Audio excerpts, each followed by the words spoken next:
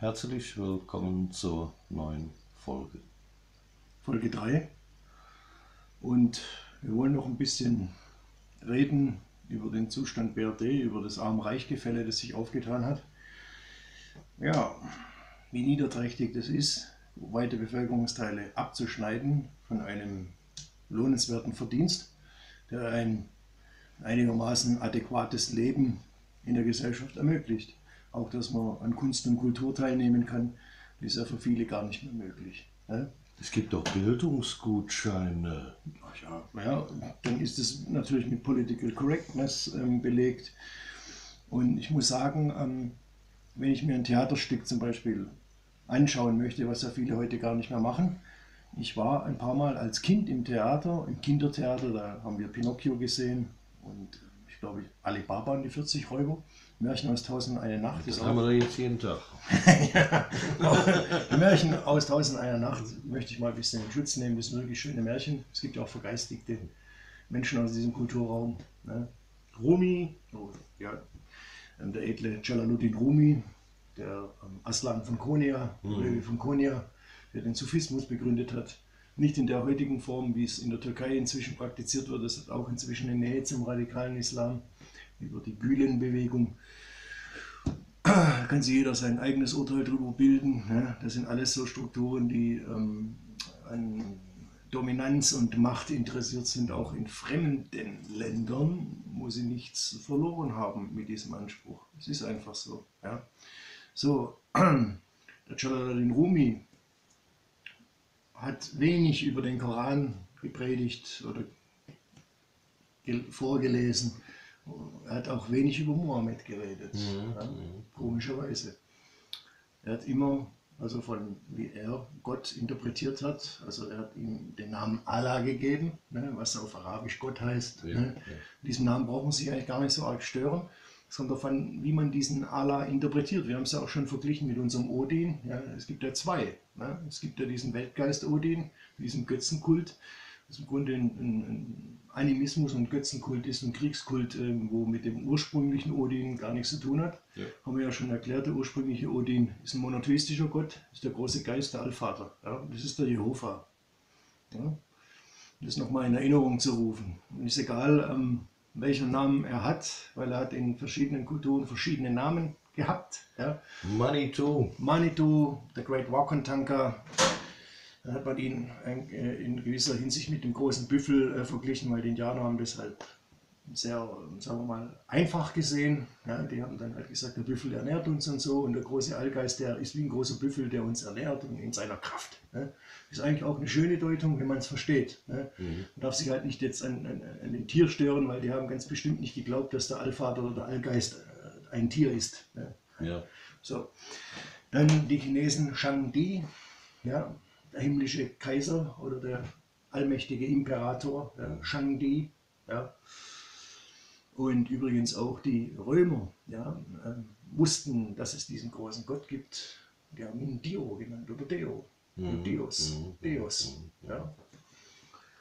Übrigens auch die Griechen, ja, die haben ihn den unbekannten Gott genannt. Ja. Die Kelten mit Lukdanan oder dem der über den Stamm wacht. Ne? Ähm, verschiedene Völker, verschiedene Bezeichnungen für den einen Gott. Ja. ja die Juden, ähm, nee, nee, nicht einmal die Juden. Ja, da möchte ich jetzt auch mal mit dem Irrtum aufräumen. Also erstmal der Name Jehova, den kannten die Juden gar nicht. Die Juden haben Yahweh gesagt oder Yahuwah, Jehua. Ja. Nach der heutigen wahrheitsgetreuen Übersetzungen, wo diese Bibelübersetzer die modernen für sich beanspruchen, Yahua oder Jehua. Mhm. Ja, oder Yahu. Ja. Mhm. Die Ägypter haben ihn Jah genannt oder Ja. Da steckt ja auch wieder eigentlich das Wort Jahwe drin oder Jehova. Ja. ja. Finden wir heute noch in äh, Jamaika. Jamaika, ja. Mhm. Ja oder Ja. So, ähm, die Hebräer haben ihn anders genannt. Mhm. Ja? Mhm. Das Wort Jehova ist ein, in der neueren Übersetzung hat es ein italienischer Mönch entwickelt aus dem Tetragrammaton des JHVH oder JHWH, mhm. was ja nichts anderes bedeutet als die Bezeug, Bezeugung von Gott, ich bin der ich bin. Ja. Das heißt, ich bin. Ja. Ich bin im Sein, im Hier und Jetzt. Ja, ja, ich ja. bin der einzig Lebendige. Und ich mache euch lebendig, wenn ihr meinen Wegen folgt, Mhm. meinem Pfad. So. Deutsche haben das übernommen, da ja ähm, damals das Heilige Römische Reich deutscher Nation bestanden hat. Mhm. Und Italien oder Rom und Deutschland haben sich gegenseitig beeinflusst und auch befruchtet, positiv befruchtet. Ähm, Auch negativ. auch negativ natürlich. Aber wir wollen die positiven Dinge jetzt mal rausstreichen, Mhm. weil ich bin auch ein Bewunderer von Rom. Das gebe ich ehrlich zu. Rom hat eine hohe Kultur gehabt.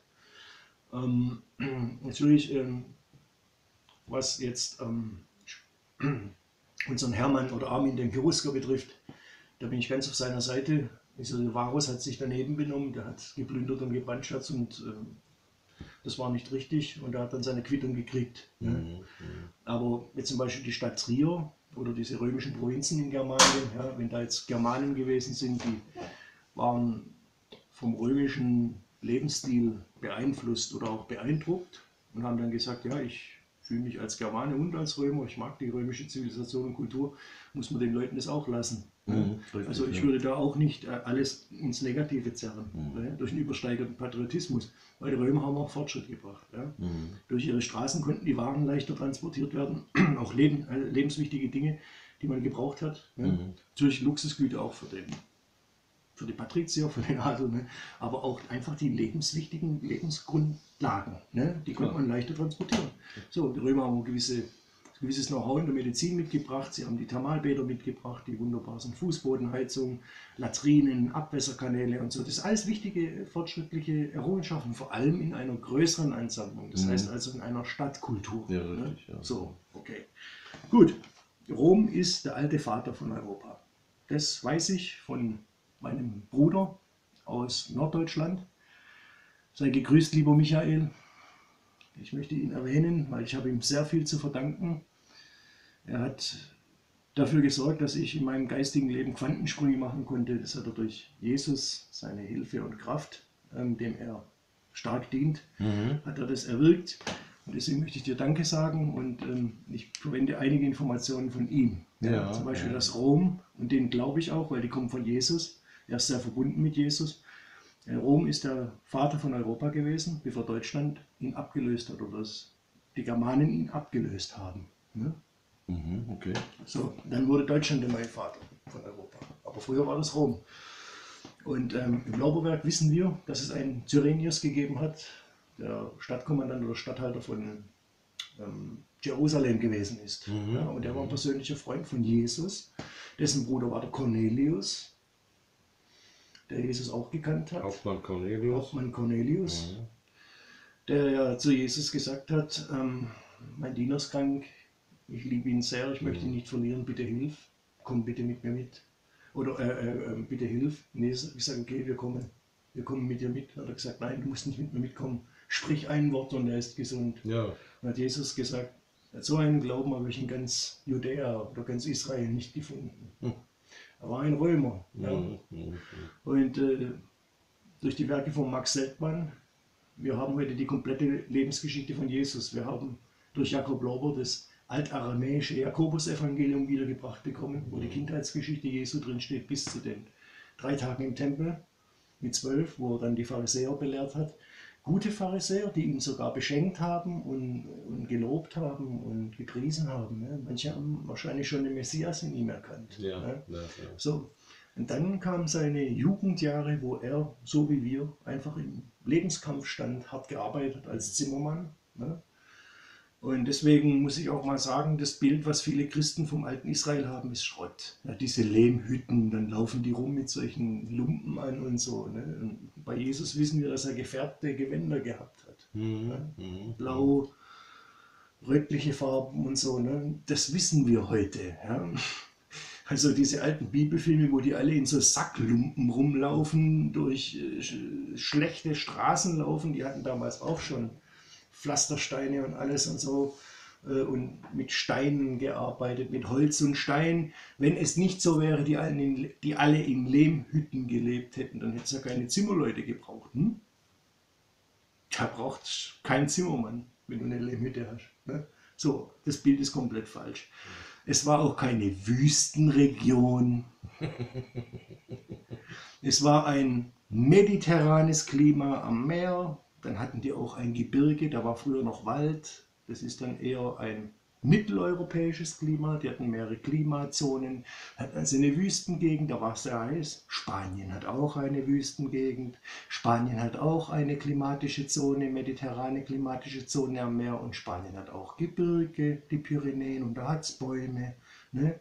Also dieses zerlumpte Judäa mit Lehmhütten und mit Sack am, am Leib und so und ärmlich und so, vergettet, ja, ver, vergesst es. Das hat nie so existiert. Nie.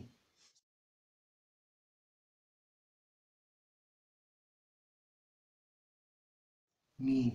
Es war ebenfalls eine Hochzivilisation und eine Hochkultur. Mhm. Ja.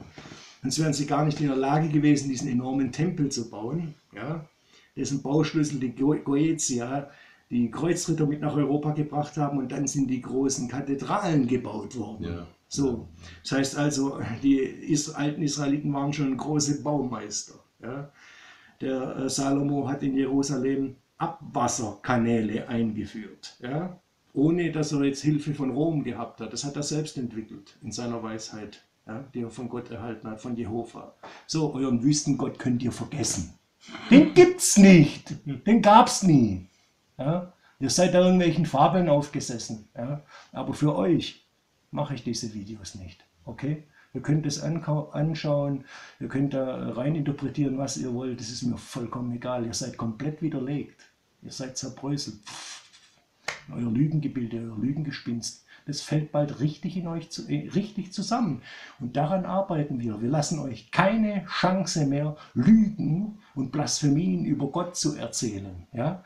Weil ihr seid Luziferier, ihr seid Gnostiker. Ihr braucht euch über die Freimaurer nicht beschweren. Ja? Das sind nämlich die Obergnostiker und Luziferier und ihr seid die kleinen Luziferier. Warum? Weil ihr euch anmaßt, Gott den Allmächtigen mit eurem kleinen Spatzenhirn verstehen und erklären zu wollen. Ja? So, und das machen die Freimaurer genauso. Und die sind in einer mächtigen Position. Und ihr seid halt in einer ohnmächtigen Position. Das ärgert euch. Im Grunde wollt ihr nur in deren Position kommen. Ja? Ihr wollt hier irgendetwas machen, äh, Deutschland drehen und so und euch dann in die obere Spitze katapultieren und dass ihr wieder ein besseres Leben habt. Aber ich sage euch eins, eure ganzen hochfliegenden, hochtrabenden Pläne, die werden scheitern. Ja? Esoterik, Kulte und ihr seid selbst in einem Kult. Ja, ihr seid in einem neo-neuheidnischen, esoterischen Kult drin. Und alle Kulte sind Sekten. Ihr seid in einer Sekte. Ja? Ihr seid in Sekten. So. Und ihr werdet zertreten werden von der Wahrheit. Ob es euch passt oder nicht, vollkommen egal. Vollkommen egal. Okay? Das, das mal dazu. Israel war eine Hochkultur und das alte Israel ist anders vorzustellen. Auch die Israeliten die sind jetzt nicht hier wie in den Filmen nur dargestellt, südländisch dunkel alle. Ja? Ja, es waren Weiße. In allen Schattierungen, in allen Formen und Farben. Ja? Hellhäutige, dunkelhäutige, je nachdem. Ja? Rothaarige, dunkelblonde, hellblonde, rotblonde, schwarzhaarige, glatthaarige, Graushaarige, Langhaarige, Kurzhaarige. Hm? Ich glaube, ein paar haben auch einen Scheitel gehabt. Richtig, mit Scheitel, Braunhaarige. Hm? In allen Schattierungen, Braunäugige, so wie ich. Brau, ich habe braune Augen. Oh. Wie kann ich nur braune Augen haben? Hm? Schwarzäugige, oh, ganz schlimm. Hui. Blauäugige, grünäugige, grauäugige, alles war da. Und warum? Das erklären wir auch, aber in einem anderen Video. So, wir wollen mit diesen ganzen Lügen und ganzen Märchen aufhören, ja? so dass nämlich rauskommt, dass wir Christen Gottes Volk sind. Wir sind es geistig und sogar von Blutswegen. Mhm. Wir sind Gottes Volk. Und wir werden diese Sekte, die sich da in Jerusalem, ins heutige Jerusalem eingeschlichen hat, ins heutige Israel, diese Sekte, die ja eigentlich aus dem Kaukasus kommen zum großen Teil. Ja, dann haben sie ein bisschen reingeschmeckt ja, aus ganz Europa. Ne? Diese Sekte werden wir auch enttarnen und zeigen, dass die nicht stimmt. Und dass die lügen. Und wir werden zeigen, diese Zionisten, Hebrew Roots Christen, die mit denen zusammenarbeiten, auch die Filme, die die produzieren, sind scheiße. Warum? Man sieht immer Jerusalem, Israel, Wüstenland und so. Es ist heute ein Wüstenland. Warum? Weil es ein Ödland ist. Das Land war früher sehr fruchtbar, jetzt ist es nicht mehr. Warum? Weil die damaligen alten Hebräer und Juden gefrevelt und gesündigt haben und ihren Jehova im Fleisch als Jesus, Immanuel Christus, gekreuzigt haben. Nicht alle, aber die Elite und die ganzen Lemminge, die auf die Elite gehört haben. Ne? Was ja heute auch wieder der Fall ist. Ne? Jetzt wird dir der eine oder andere kommen von wegen, ja, wir beziehen doch da die wunderbarsten Früchte aus Israel. Die haben wir dann im Supermarkt und äh, wenn man so die Bilder sieht, da ist doch alles grün, da gibt es so viele Felder. Weil es künstlich bewässert wird. Ich kann auch in einem Gewächshaus alles Mögliche an Superfrüchten züchten. Ja, ob die jetzt nachher wirklich diese wunderbare Qualität haben von in einer fruchtbaren Umwelt und Natur gewachsenen Früchten, Mhm. steht auf einem ganz anderen Blatt. Aber das passiert halt Leuten, die sich extrem leicht täuschen lassen. Mhm. Ja, so, das Bild, was wir entwerfen wollen vom alten Israel, das ist ein sehr differenziertes Bild von dem, was man heute so sieht. Ein fruchtbares Land, ein Land, ähm, ähm, das klimatisch auch was mit uns in Europa zu tun hat, ja, weil wir haben ja auch mehrere Klimazonen. So, ähm, ein Volk, das ähm, von Blutswegen ähm, etwas mit uns zu tun hat, das uns gleich ist, weil es ein, ein weißes Volk gewesen ist, in all seinen Schattierungen. So, und dafür gibt es inzwischen viele Beweise und ich bin nicht der Einzige. Es gibt im Internet einige jetzt, die ähm, darüber aufklären, gut aufklären. Klaus Jäger. Richtig, ähm, die Weise in der Bibel. Ja. Okay, ich, habe hab mich damit jetzt noch nicht so auseinandergesetzt, aber ich denke, der ist da auf einer richtigen Spur. So, ähm, wollen auch nicht so viel jetzt erwähnen. Ja. Was ich noch sagen wollte, das steckt noch ein bisschen in, im Anfangsstadium. Es ist noch nicht so viel darüber bekannt, wie das alte Israel ausgesehen hat, wie das Volk ausgesehen hat, aber wir arbeiten daran. Ja. Wir wollen ein deutlicheres Bild entwerfen, um mein Anspruch ist es, die Neuheiten, die Gott lästern, indem sie ihn Jehova, den Judengott und den Wüstengott nennen. Das sind Beleidigungen, die ärgern mich und ich werde mit meinem ganzen Sein diese Blasphemien und Lügen zerstören, komplett zerstören. Und ich werde den Menschen, die das vor sich her posaunen, die Lebensgrundlage und den Boden entziehen. Garantiert. So, kleine Exkursion, Abweichung ins alte Israel. Tja, meine lieben Freunde, klingt hart, ne? Verdammt hart. Ich habe in dem Moment selber ja, einen Schrecken bekommen. Was lässt er denn jetzt da ab? Ne? Und für mich war also in dem Moment sofort klar, ich werde diese Szene herausschneiden. Und er hat es mir dann nachher erklärt. Nachdem die Aufnahmen beendet waren, habe ich ihn darauf angesprochen und er sprach von verschiedenen Personen. Und eine Person hat er ganz explizit hervorgehoben, die also tatsächlich ähm, durch die Lande zieht und äh, ja, darauf spezialisiert ist, ja gerade deutschnationale, äh, stolze Menschen ähm, zu verführen. Also denen ir wirklich irgendwelche Fantasiegeschichten an den Haaren herbeigezogene Geschichten, die er natürlich so kombiniert, dass sie wirklich einen Sinn ergeben, ähm, zu erzählen. Und wie gesagt, er finanziert dadurch sein ganzes Leben. Und äh, diesen Menschen wollte oder will ähm, der Michael wirklich den Wind aus den Segeln nehmen und er möchte ihn widerlegen. Und das wird ihm auch gelingen, das weiß ich schon jetzt. Ähm, gut, das war eine kurze Unterbrechung. Ich wünsche euch weiterhin viel Spaß. Kommen wir wieder zurück. Zustand BRD. Obwohl das ja alles irgendwo mit reinspielt. Weil ja eine gewisse Elite von dort, von dem heutigen Israel, die einen Auserwähltheitsanspruch vor sich herträgt, den sie nicht zurechtträgt, der absolut illegitim ist, in der Weltpolitik absolut dominant ist, im Ja. Bankensystem überall. Wir werden hier keine Namen aussprechen, weil wir hier inzwischen eine veränderte Situation in der BRD-Firma haben, GmbH. Ne? Übrigens ist die BRD nicht der einzigste Firmenkonzern. Ja, ähm, Frankreich ist auch eine GmbH, England ist eine, die USA ist eine, ja, die meisten Leute Italien, Portugal, Spanien, alle. Ne? Das haben die durch die Privatisierung, das waren die Anfänge, haben die das so verklausuliert in ihrem Rechtssystem, Handel- und Seerecht. Ja, das werden Vatikan mischt ganz derbe mit. Darüber hat ja Dr. Dr. Dr. Malachi Martin aufgeklärt in seinem Buch Der letzte Papst, wo ich auch mal erwähnt habe. Er hat ganz klar aufgezeigt, die Verwicklungen des Vatikans in der neuen Weltordnung. So. Und das Handel- und Seerecht. Und daran hängt der Hammer. Aber das können wir jetzt noch nicht besprechen. Dazu gibt es ein gesondertes Video Handel und Seerecht. Und äh, da äh, kann ich äh, sehr viel, äh, inzwischen schon einiges drüber sagen. Mhm. Ja? Äh, das war mir noch vor ein paar Monaten nicht möglich. Mhm. Aber wie gesagt, ich habe dieses Vi- Video gesehen von dem Montenegrino, der in Deutschland seine Firma hatte, Ja, ja. pleite gegangen ist, ja.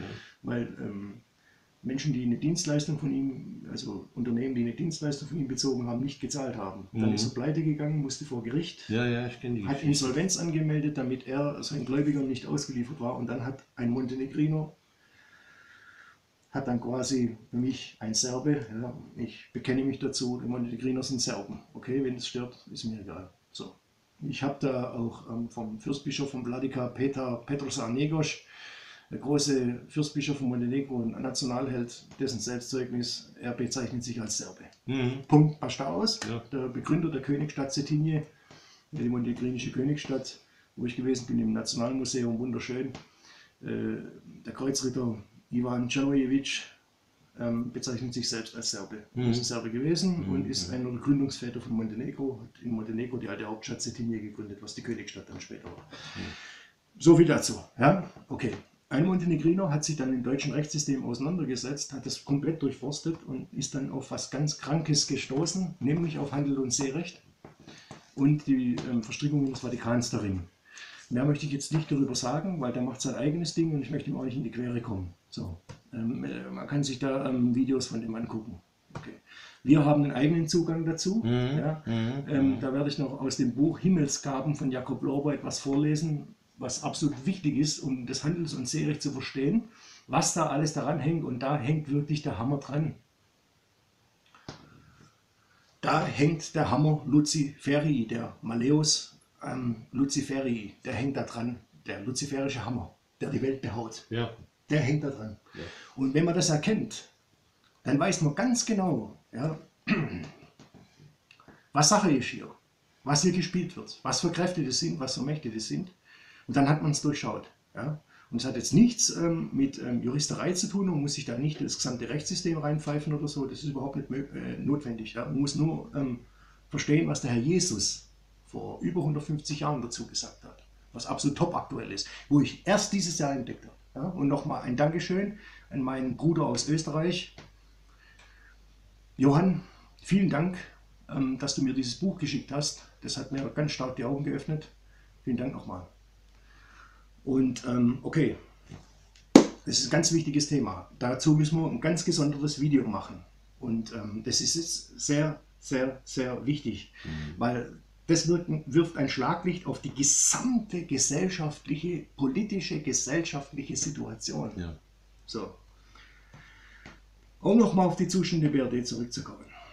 Wir wissen, der Niedriglohnsektor wurde geschaffen als quasi Puffer für den wegbrechenden Mittelstand. Mhm, Ja? mhm, Das heißt, einen adäquaten Lohn zu bekommen, adäquat existieren zu können, ist nicht mehr möglich. Für weite, weiteste Bevölkerungsteile. Wir haben inzwischen hohe Kinderarmut in Deutschland.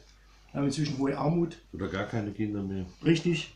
Deswegen ist, äh, ähm, wir müssen da auch vorsichtig sein, ja, weil inzwischen wird man ja verfolgt. Wir haben eine neue Situation in Deutschland. Die haben äh, Gesetze durchgepeitscht. Meinungsfreiheit ist weiter eingeschränkt. Ähm, die Unverletzlichkeit der Wohnung ist weiter eingeschränkt, ähm, teilweise ganz aufgehoben. Dann ähm, Versammlungsfreiheit ist eingeschränkt. Das werden sie auch noch, das werden sie, denke ich, ganz aufheben. Das heißt, wir marschieren in sieben Meilen Schritten in Richtung Diktatur. Das ist ein Faktum. Wir müssen jetzt ganz extrem aufpassen, was wir sagen. Deswegen nennen wir auch keine Namen mehr. Und wir bleiben bei Jesus. Wir bleiben in seiner Sphäre und wir durchleuchten das alles durch sein Wort. Ja? So, und die anderen Dinge, das ist Beiwerk im Grunde. So war es bei den ersten Folgen auch, so machen wir es jetzt auch in diesen Folgen. Inzwischen muss man wirklich aufpassen, was man sagt in Deutschland. Ähm, wer Revisionismus betreibt, ähm, den betreiben wir auch. Wir betreiben auch Revisionismus. Ähm, da sind wir ganz bei euch, gell? Ähm, äh, weil wir ja auch ähm, unsere Vorfahren, alle unsere Vorfahren lieben und zu ihnen stehen. Also auch zu denen, die zwischen 1933 und 1945 an der Spitze gewesen sind. Okay, so viel dazu.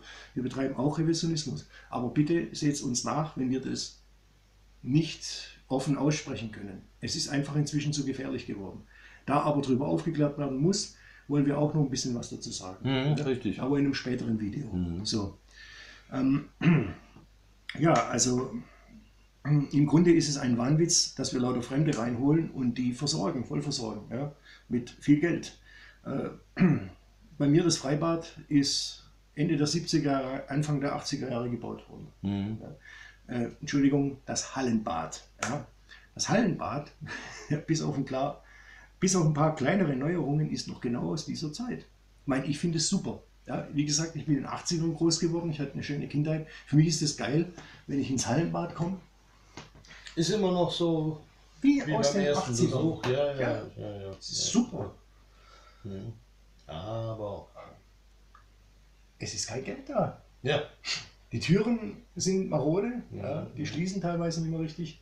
Es ist kein Geld da. Ja. Viele Spielplätze sind runtergekommen. Immer mal wieder ähm, wird was erneuert. Ja. Aber im Grunde ähm, so für Wo wir gerade bei Spielplätzen sind, äh, achte mal auf die Schilder, die man da oft sieht. Also da werden dann die verschiedenen Firmen gezeigt, äh, die quasi die elenden Gerätschaften, äh, die man da sieht, äh, die man für die Kinder gedacht hat, äh, gesponsert haben. Also es musste also wirklich Geld gesammelt werden, dahin zum Kunst. ja, Und äh, das sind manchmal bis zu 20 Sponsoren, Ja. die da aufgeführt werden. Äh, da ist kein Geld für da. Da muss man Firmen anpumpen. ja, Ihr spendet uns mal ein bisschen was. Für Betteln. Kinder. betteln gehen. Ja, richtig. So ist auch bei unserem Waldspielplatz. Den Ich werde da mal was erneuert. einklinken. Ich werde da mal was einspielen jetzt an dieser Stelle. Ja, wenn man mal überlegt, wie viel zusätzliche Sponsoren notwendig waren, um hier ein paar Plastik- und Stahlgestelle für Kinder hinzustellen, das ist schon unfassbar. Unfassbar, dass dieses reiche Land für Kinderspielplätze anscheinend selbst keinerlei Gelder aufbringt und man hier irgendwelche ja, Supermärkte und Vereine anpumpen muss, um die paar Dinger hier hinzustellen, die auch nicht gerade sonderlich schön sind. Traurig. So ist auch bei unserem Waldspielplatz, den sie vor kurzem erneuert haben. Ja, der war auch schon alt und runtergekommen. Mhm. Und den haben sie jetzt wirklich schön erneuert. Das gleiche, wie was du gesagt hast. Durch Ja. Spendengelder finanziert. Schildchen von der Sparkasse oder was weiß Richtig. ich. Oder so. ja.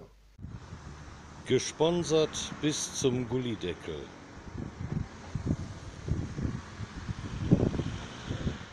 Da weiß man aber im Endeffekt, wo das Geld ist. Ne? Ja, aber für die Deutschen ist kein Geld da. Ähm, ich wollte auch noch erzählen äh, von der Zeit, wo ich selbstständig als Videothekar gearbeitet habe. Ne? Damals gab es ähm, vom Arbeitsamt diese Möglichkeit, Jungunternehmer mit 20.000 D-Mark, damals noch D-Mark, zu unterstützen. ja, ja, ich habe ja. dir erzählt, äh, ich habe kein Geld gekriegt mit fadenscheinigen Ausreden, obwohl ich äh, einen Arbeitsplatz ähm, sofort hätte äh, kreieren können, Ja, neben ja. meinem Arbeitsplatz. Ich hätte einen Arbeitsplatz schaffen können Ja. und langfristig sogar einen zweiten. Ja. Okay, und, äh, ich habe alles dabei gehabt, Riesenunterlagen und so und mein Geschäft stand ja schon und alles. Ne? Und ich hätte einfach das Geld gebraucht, um einen zweiten Ar- Mitarbeiter einstellen zu können. Du weißt warum? Weil ich da diese zweite Theke betreiben musste fürs 18er Abteil. Ne? Und das wurde torpediert.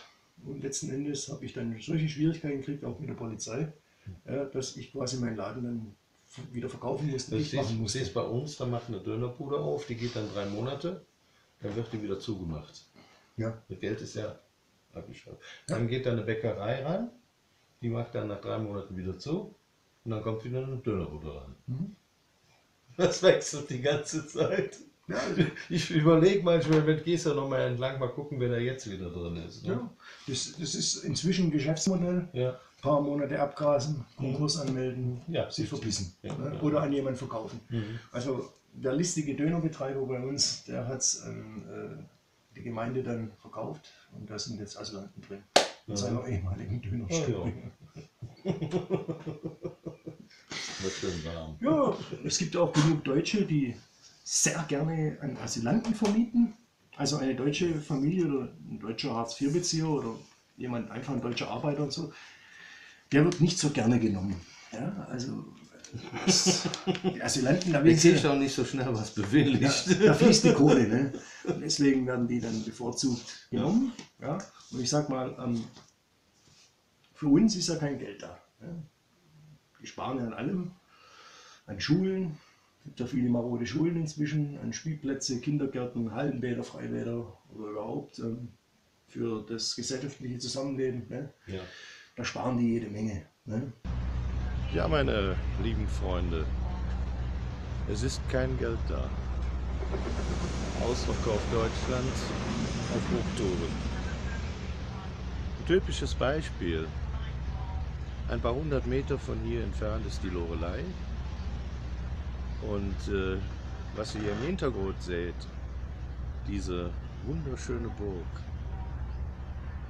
Ich wollte diese Burg besuchen und äh, leider ist es einem gewöhnlichen Menschen wie mir und auch euch nicht mehr möglich, weil ja diese Burg wurde an Japaner verkauft.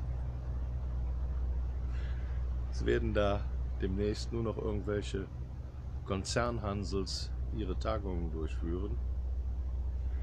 Äh, der normale Mensch hat da jetzt keinen Zutritt mehr. Ähm, da herrschen jetzt die Japaner.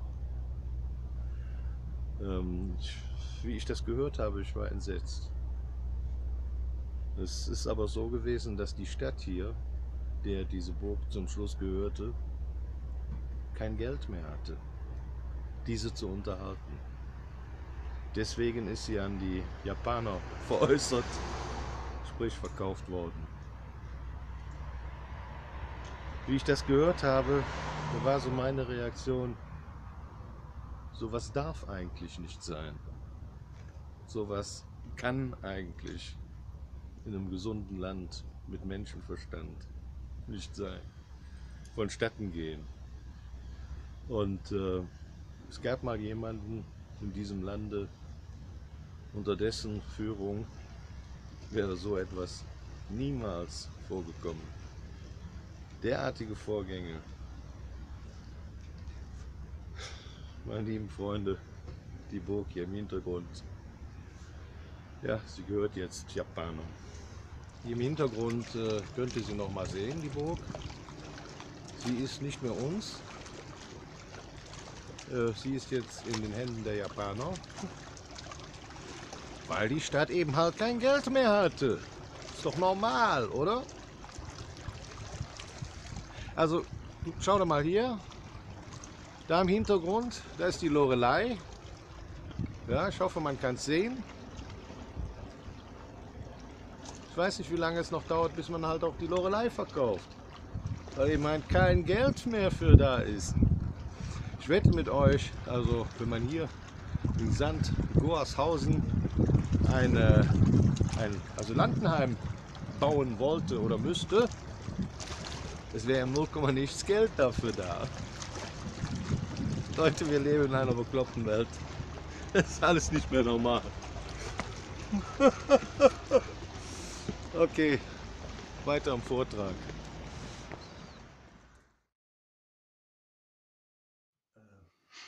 Ist nie Geld da. Mhm. Aber plötzlich sind Milliarden da Milliarden, ja. für Leute, die vom anderen Ende der Welt fast kommen. Und noch viele Kriminelle dabei sind. Wir wissen ja, dass der König von Marokko jetzt eine Amnestie ähm, erlassen hat. Ja. Ja, und die sind dann fröhlich aus dem Knast rausspaziert und jetzt auf dem Weg zu uns.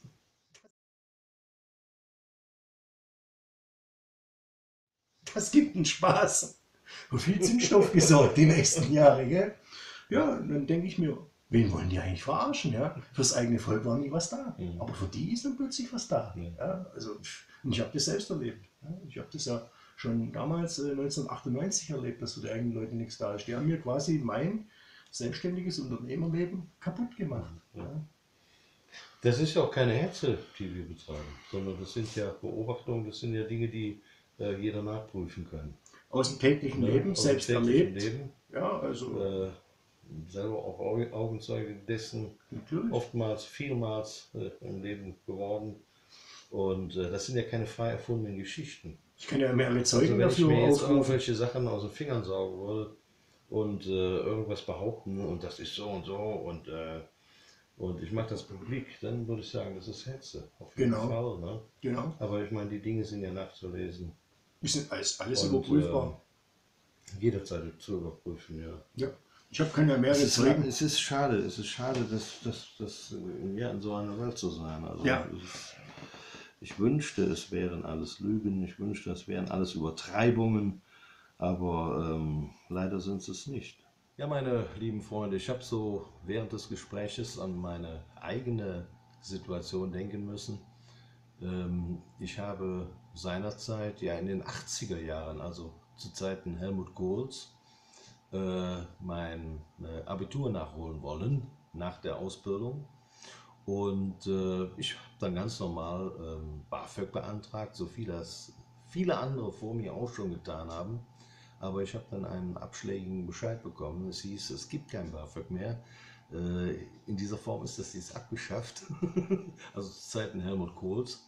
Und ihr müsst euch ja mal vorstellen, schon in den 80er Jahren hat man mir dann erzählt, dass kein Geld mehr da sei. Es ist kein Geld mehr da in den 80er Jahren. Ja? Und ihr wisst selber, äh, wie viele Milliarden mittlerweile schon locker gemacht wurden für Hinz und Kunz. Naja gut, ich habe damals mein Abitur und auch mein späteres Studium dann selbst finanzieren müssen. Ich bin ja nur Deutscher. Ich kann Zeugen dafür aufführen. Ja, ja. Und inzwischen, bei mir ist es so, ich möchte eigentlich gar nicht mehr am öffentlich-gesellschaftlichen Leben teilnehmen. Zum Beispiel, wenn man jetzt ein Theater besucht und schaut sich dann irgendein Theaterstück an, die Räuber von Schiller, dann ist es so modernisiert und auf Multikulti-Fröhlichkeit äh, äh, getrimmt Äh, das und geht- auf Political Correctness. Dann kommen plötzlich schwule Anführer und äh, Ich weiß. Ja. Frauen, die dann plötzlich anführen und dann sind ganz viele Schwarze plötzlich, die, die, die da äh, Position einnehmen, von Menschen, die den- Weiße gewesen sind und dann wird dieses Multikulti-Ding wird da eingeführt und diese Political Correctness und, und Ich habe letztens an einer altehrwürdigen Kirche äh, so, ja, sowas wie eine Ikone gesehen, also so, so Figürchen, äh, heilige Figürchen. Und da ist also wirklich unter denjenigen, die also während des Kreuzganges unterwegs waren, ein, ein Asylant in Jeans zu sehen, der da mithilft, das äh, Kreuz zu tragen. Ich werde es äh, mal einblenden.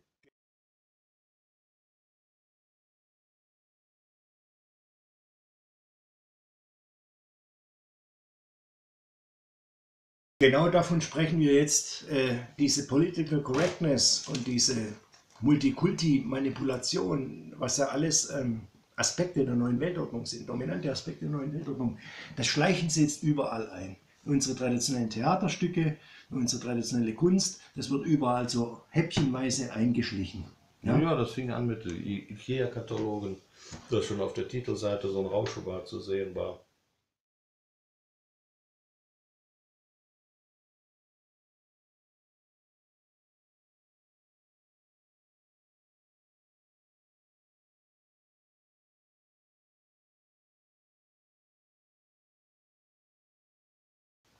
Und äh, ja, äh, in jedem Werbeprospekt oder sowas ist, äh, sind also sämtliche Farben äh, der Welt vertreten. So, auf die Tour kommt her, dieses Land ist für alle da. Ne? Hat er nicht erst vor kurzem eine sehr, also ständig schlecht gekleidete, füllige Politikerin, Ich glaube, ich weiß schlagartig, wie du meinst. die im Grunde eigentlich ein, ein Zerrbild ihrer selbst darstellt, ne?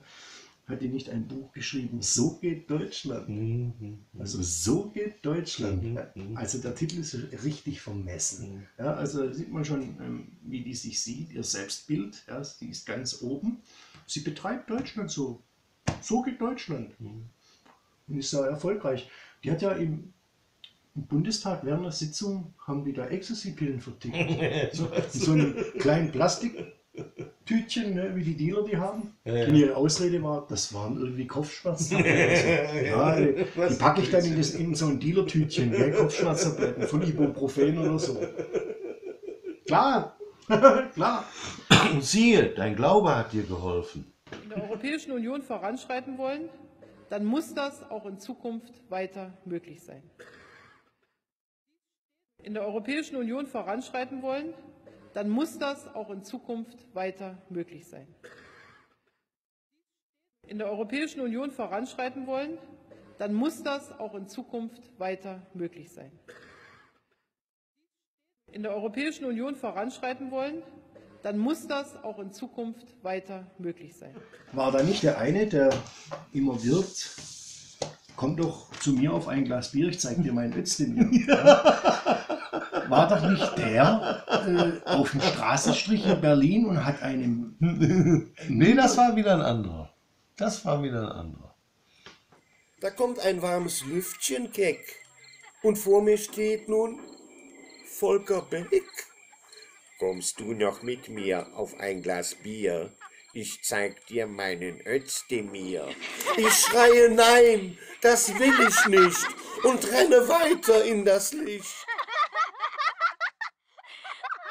Ja. ja. Ist es nicht der, ähm, der auf dem Straßenstrich da ähm, Crystal Meth gezogen Crystal hat? Meth, ja, ja, Crystal Meth. Und hat es einem, einem minderjährigen Sprecher gegeben Ja, ja. und hat dann mit ihm seine Absurditäten Wollte, wollte. oder wollte mit ihm seine sexuellen Absurditäten begehen. Das Der ist ja wieder voll, kein- voll im Geschäft. Ne? Ich habe ja seinerzeit ein Video zur gleichen Zeit gemacht und habe gesagt, äh, liebe Leute, der ist jetzt schon wieder auf dem Weg, durch die Hintertür reinzukommen. Da werden ja jetzt schon wieder die Gespräche geführt, dass du in allen Ehren aufgenommen wirst. Und so ist es ja auch. Er hat ja jetzt dann quasi, äh, ja, das, äh, ja, Schwule heiraten dürfen. Äh, da stand er ja an vorderster Front und hat gefeiert. Ne? Russland hat doch einen aufs Maul gekriegt. Oh, wundervoll. Bravoslava. Ja, super. Also die Russen, top, endlich. Ich meine, das hätte eigentlich auf deutschem Boden passieren müssen, aber da hat es niemand ähm, äh, ähm, fertig gekriegt. Schlafen die. Ja. ähm, äh, gewisse Vertreter eines künstlich hochgeputschten, pseudo-auserwählten Volkes haben ihm ja wieder die Türen geöffnet. Ja, Ja, okay. Äh, was es Bravoslava betrifft, okay, ähm, für mich sind Slawen, Ostgoten, Vandalen und Ostgermanen. Und für mich ist äh, Deutschland oder der germanische, die Germanen sind, ist es für mich eigentlich der Vater von Europa. Ja, und wir wissen heute durch meinen lieben Bruder aus Norddeutschland, wissen wir, dass ähm, die Slawen, zum Beispiel die Serben, das ist, die stammen von den Russen ab. Die Russen äh, ähm, stammen, also sie haben eine Verbindung zu den Preußen, zu den Prutzen und auch zu den Wiking, zu den Wikingern, das, die sind ja früher Viking Rus, ja, und die Serben Viking Serb, ja, also das, das ist ein Volk. Ne? quasi die Russen, die Serben und die Deutschen, das ist ein Volk. Die haben sich nur irgendwann mal getrennt. Deutschland ist der Vater und die Russen und die Serben sind die Söhne. Das heißt, wir sind ein Volk. Ja? Wo ich äh, letztes Jahr in Montenegro gewesen bin, habe ich mir die Montenegriner ganz genau angeschaut. Ganz genau. Ja? Ich habe da so viele verschiedene ähm, Schattierungen gesehen in, innerhalb dieses Volkes. Ne? Erstmal habe ich da die größten Menschen gesehen, äh, ähm, die ich wirklich lange Zeit in meinem Leben gesehen habe, also in dieser Quantität. Ne? Ja. Große Menschen gibt es natürlich auch in Deutschland, aber in dieser Quantität in Montenegro war das schon einmalig. Ne? Ich habe da eine Bauersfrau auf dem Markt gesehen, die war fast zwei Meter groß. ich habe mir gedacht, wenn du der Stress kriegst, ja, ist irgendwie beim Kartoffelkaufen und so, du schätzt die Kartoffeln und so. Und Ich habe mir gedacht, oh, oh. also wenn die Alte daheim hast und du hast Stress, meine Fresse. Und ja, ich habe da sehr viele große Frauen gesehen, ich habe sehr viele große Männer gesehen und auch der Vladika, ähm, Peter Petrosanegos, von dem ich dir erzählt habe, der eine ganz wichtige Figur ist, den wir auch noch behandeln, der war über zwei Meter groß. Ja, also damals schon im 18. Jahrhundert. Hat aber nichts mit den Nephilim zu tun. Nein, garantiert nicht. Äh, war ein gläubiger Christ. Ja, okay. Fürstbischof. Ne? Ja. Okay. Ähm, ich habe mir die Montenegriner angeguckt. Da find- findest du wirklich Leute, die sind sehr, sehr südlich. Zum Beispiel ein Onkel von mir, der Zaro, der ist ähm, von den Illyrern abgestammt. Ja, die Illyrer sind ein hellenisches Volk gewesen, ein griechisches Volk, ein griechischer Stamm. Die haben an der Küste sich angesiedelt. Der mit Vornamen Pi? Pizarro? Nein. Nein. Zaro ist griechisch. Das bedeutet der Falke. Das ist ein griechischer Name. Schön. Ja. Und ähm, der sah ein bisschen aus wie Costa Cordalis. Ja, ja wirklich. Und äh, schönes, kraftvolles Haar und schöne, markante Züge und kraftvoller Mensch war das. Ein sehr lieber Mensch, herzensguter Mensch. Ich erinnere mich gerne an ihn. Ja.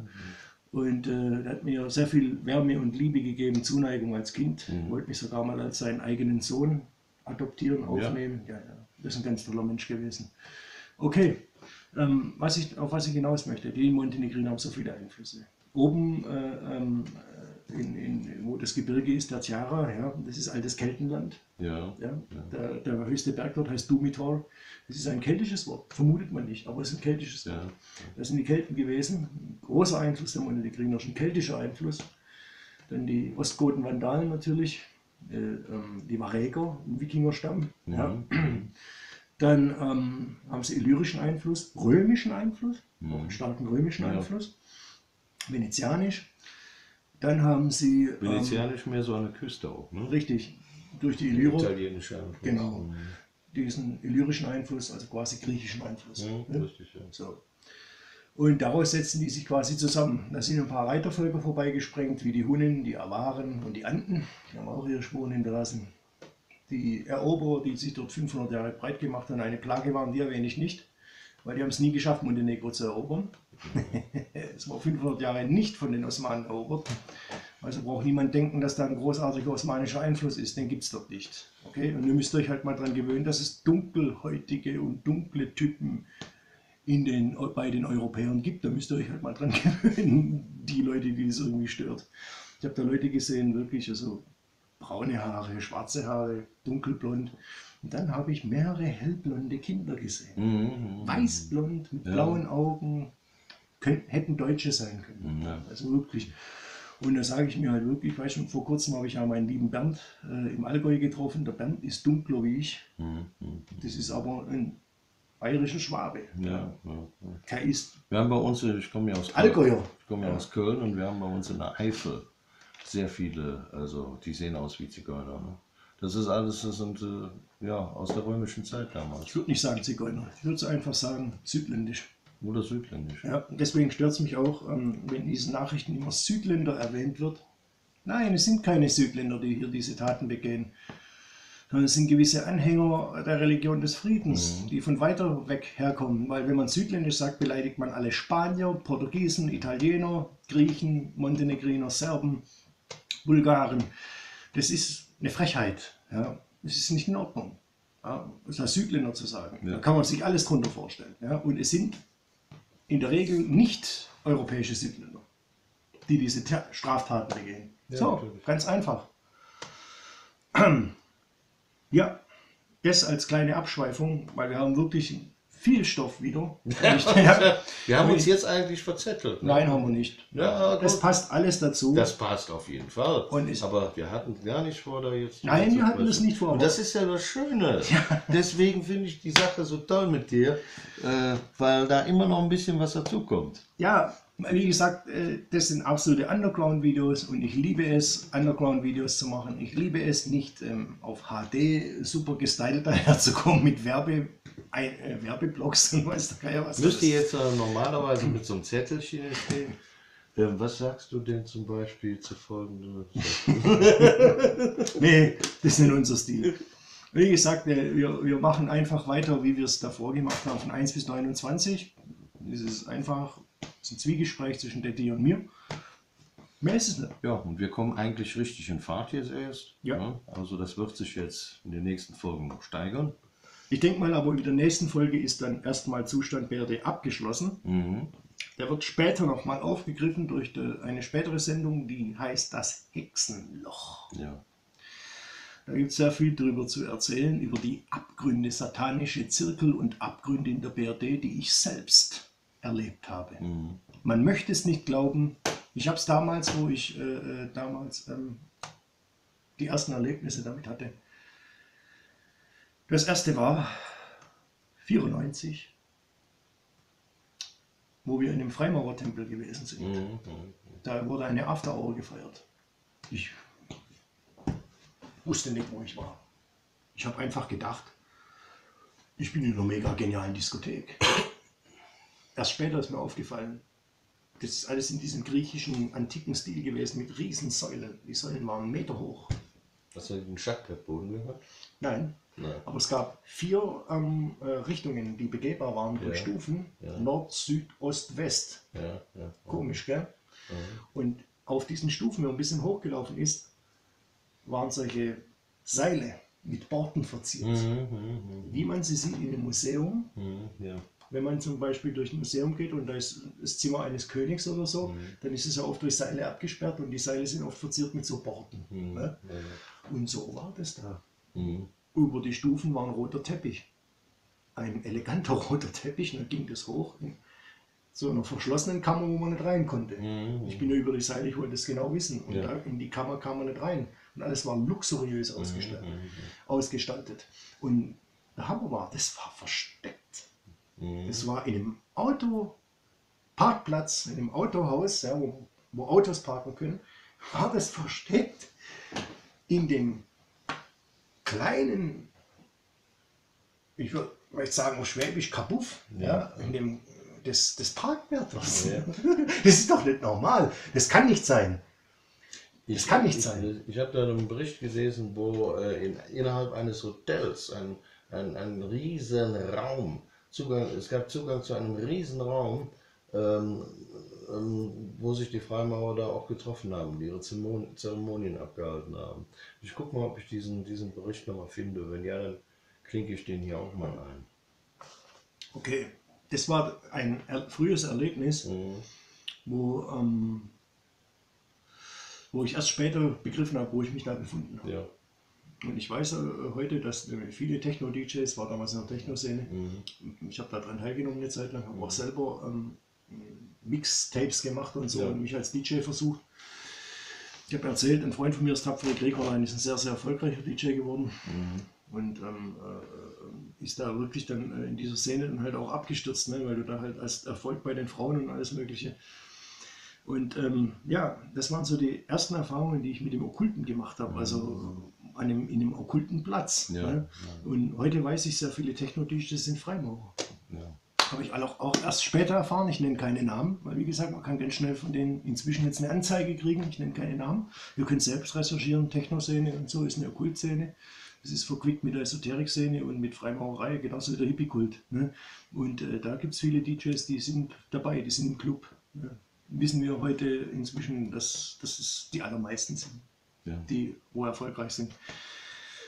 Das war so das erste Erlebnis und das zweite Erlebnis war im Jahr 2002 und da hat mir die Sprache verschlagen. Also wirklich, ähm, ich hätte es nicht für möglich gehalten. Und das erzählen wir in der Folge Das Hexenloch, damit ihr mal sehen könnt, wie weit der Satanismus in Deutschland um sich gegriffen hat, dass man den sogar mitten in der Pampa, in der Schwäb, auf, auf, dem, auf dem Land in Schwaben, ja, dass man, den da, dass man dem da begegnen kann. Ja. Hätte ich nicht, noch vor einigen Jahren hätte ich das nicht für möglich gehalten. Ja. In dieser Fülle, in dieser Dichte, bis mich der Herr Jesus selbst damit konfrontiert hat, indem er mich die, das erleben ließ, indem er mich das erfahren ließ, indem er mich das finden ließ. Ja. Und darüber werden wir berichten in der, in der Folge Das Hexenloch. Mhm. Mhm. Mhm. Okay, Ja, würde ich sagen. Runde beendet. Auf zur nächsten Folge. Über das Arm-Reich-Gefälle, das sich aufgetan hat. Ja, wie niederträchtig das ist, weite Bevölkerungsteile abzuschneiden von einem lohnenswerten Verdienst, der ein einigermaßen adäquates Leben in der Gesellschaft ermöglicht. Auch dass man an Kunst und Kultur teilnehmen kann, ist ja für viele gar nicht mehr möglich. ne? Es gibt doch Bildungsgutscheine. Ach ja, naja, dann ist es natürlich mit Political Correctness ähm, belegt. Und ich muss sagen, ähm, wenn ich mir ein Theaterstück zum Beispiel anschauen möchte, was ja viele heute gar nicht mehr machen. Ich war ein paar Mal als Kind im Theater, im Kindertheater, da haben wir Pinocchio gesehen und ich glaube Alibaba und die 40 Räuber. Märchen aus Tausend eine Nacht ist Das haben wir doch jetzt jeden Tag. die Märchen aus Tausend einer Nacht möchte ich mal ein bisschen in Schutz nehmen. Das sind wirklich schöne Märchen. Es gibt ja auch vergeistigte Menschen aus diesem Kulturraum. Ne? Rumi, oh, ja, ähm, der edle Jalaluddin Rumi, der Aslan von Konya, Löwe von Konya, der den Sufismus begründet hat. nicht in der heutigen Form, wie es in der Türkei inzwischen praktiziert wird. Das hat auch inzwischen eine Nähe zum radikalen Islam über die Gülen-Bewegung.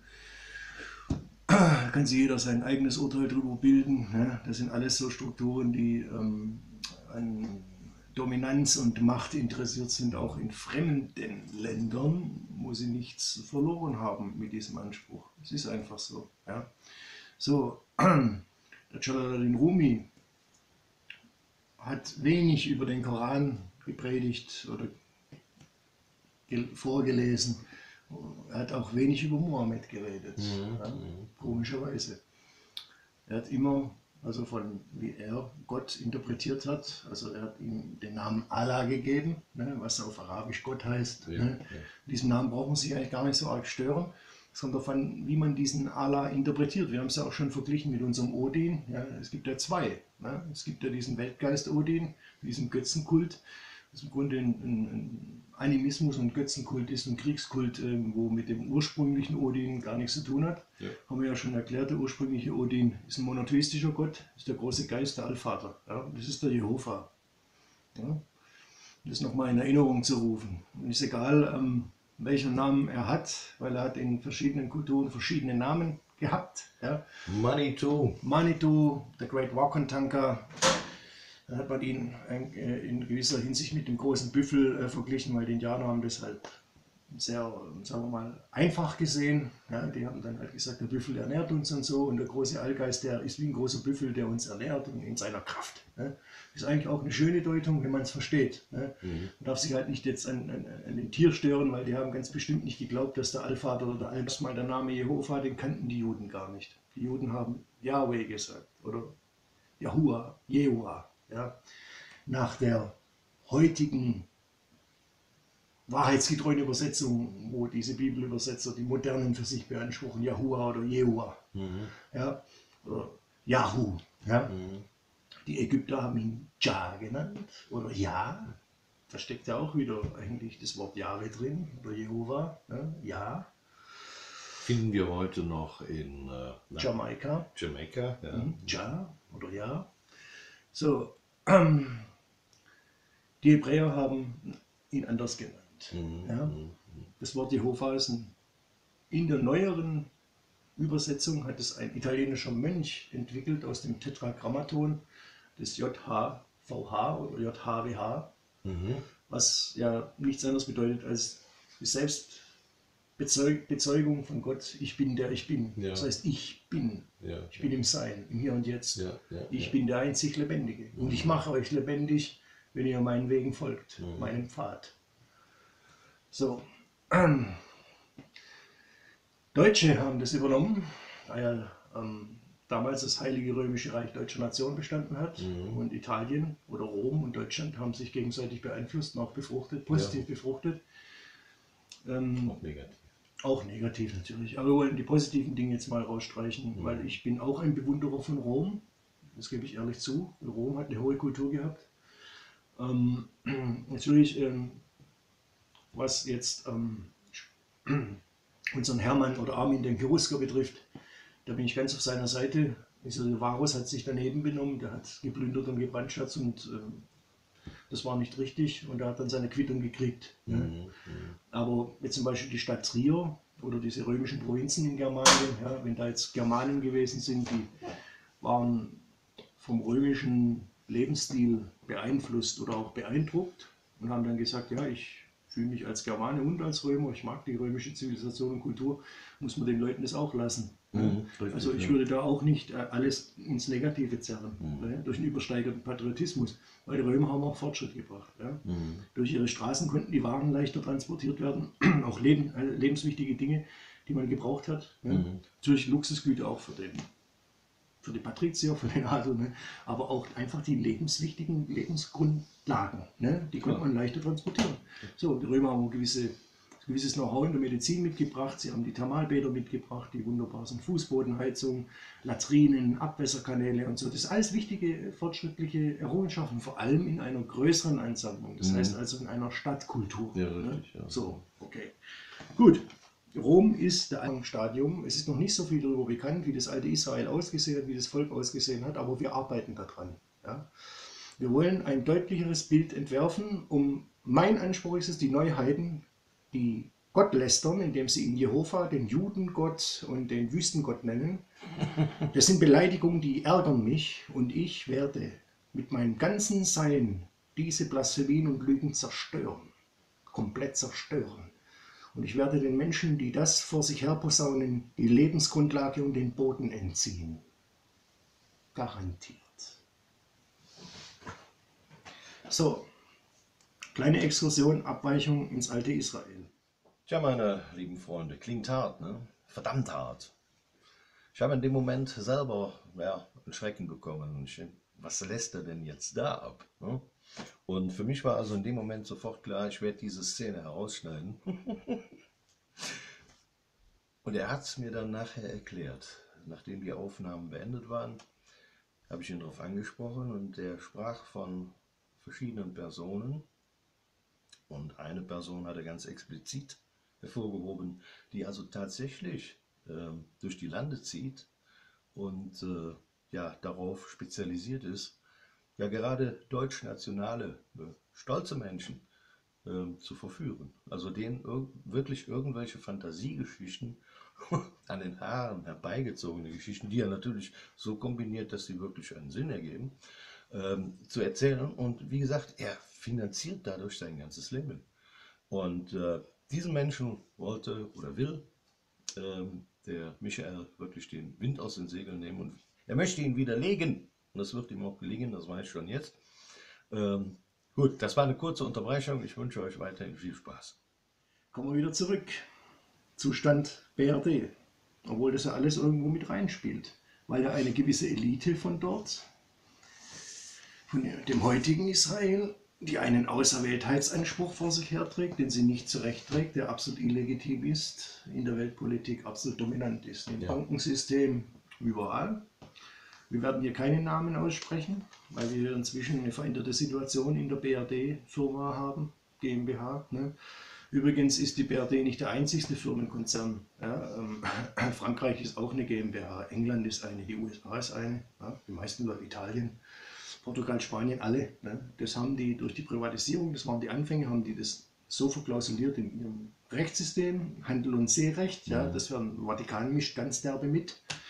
Darüber hat ja Dr. Dr. Dr. Malachi Martin aufgeklärt in seinem Buch Der letzte Papst, wo ich auch mal erwähnt habe. Er hat ganz klar aufgezeigt, die Verwicklungen des Vatikans in der neuen Weltordnung. So. Und jetzt hat Neun Folge. Folge 3. Und wir wollen noch ein bisschen reden über den Zustand BRD, über das Arm-Reich-Gefälle, das sich aufgetan hat. Ja, wie niederträchtig das ist, weite Bevölkerungsteile abzuschneiden von einem lohnenswerten Verdienst, der ein einigermaßen adäquates Leben in der Gesellschaft ermöglicht. Auch dass man an Kunst und Kultur teilnehmen kann, ist ja für viele gar nicht mehr möglich. Ne? Es gibt doch Bildungsgutscheine. Ach ja, naja, dann ist es natürlich mit Political Correctness ähm, belegt. Und ich muss sagen, ähm, wenn ich mir ein Theaterstück zum Beispiel anschauen möchte, was ja viele heute gar nicht mehr machen. Ich war ein paar Mal als Kind im Theater, im Kindertheater, da haben wir Pinocchio gesehen und ich glaube Alibaba und die 40 Räuber. Märchen aus Tausend und eine Nacht Das ist haben auch wir jetzt jeden Tag.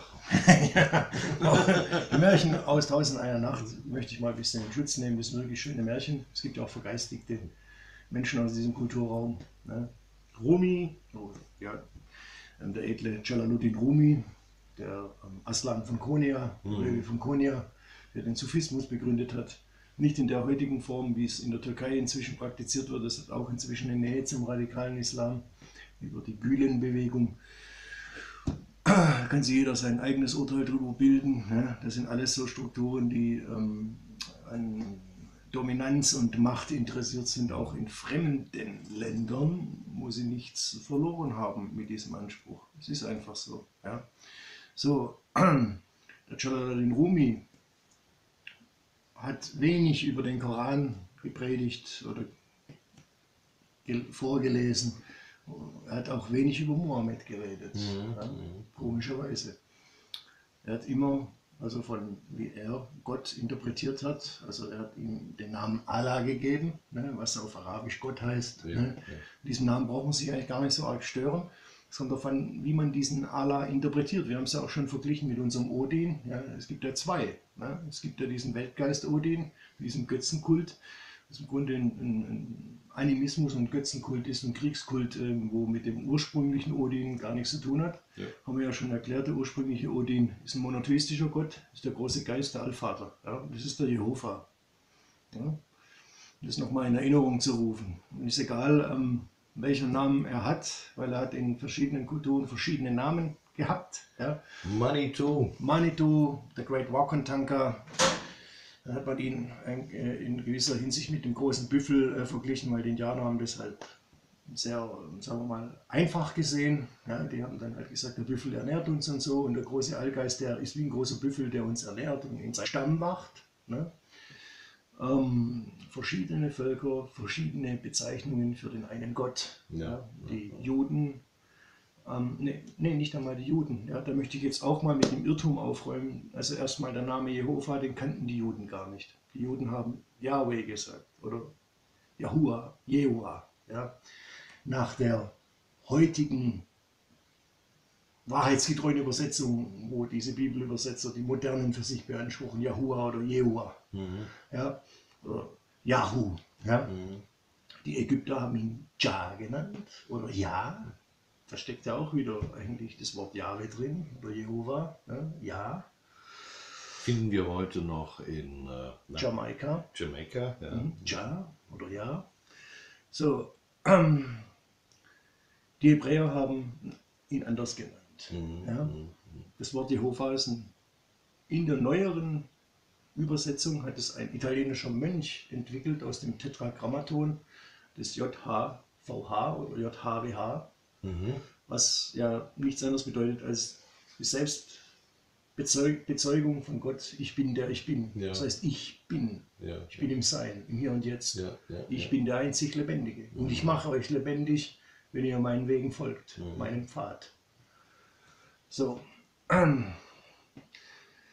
Deutsche haben das übernommen, da ja ähm, damals das Heilige Römische Reich deutscher Nation bestanden hat. Mhm. Und Italien oder Rom und Deutschland haben sich gegenseitig beeinflusst und auch befruchtet, positiv befruchtet. Ähm, Auch negativ. auch negativ natürlich. Aber wir wollen die positiven Dinge jetzt mal rausstreichen, Mhm. weil ich bin auch ein Bewunderer von Rom. Das gebe ich ehrlich zu. Rom hat eine hohe Kultur gehabt. Ähm, natürlich, ähm, was jetzt ähm, unseren Hermann oder Armin den Cherusker betrifft, da bin ich ganz auf seiner Seite. Also Varus hat sich daneben benommen, der hat geplündert und gebrandschatzt und ähm, das war nicht richtig und er hat dann seine Quittung gekriegt. ne? Mhm.